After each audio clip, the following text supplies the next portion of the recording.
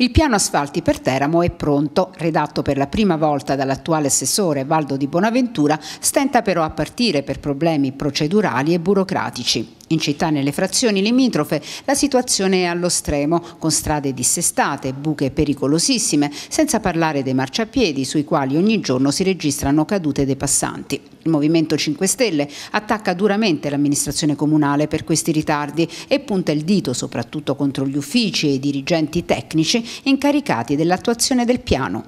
Lei riceve ogni giorno a proposito di asfalti eh, dei messaggi anche abbastanza drammatici.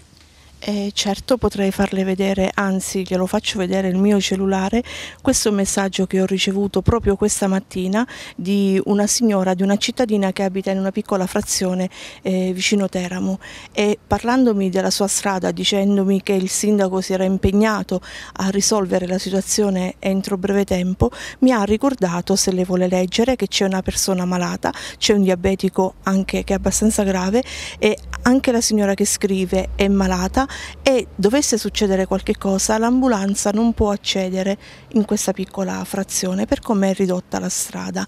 Quello degli asfalti non vuole essere una un, un punto fisso dell'opposizione, assolutamente, è soltanto un problema reale che la città e i cittadini hanno.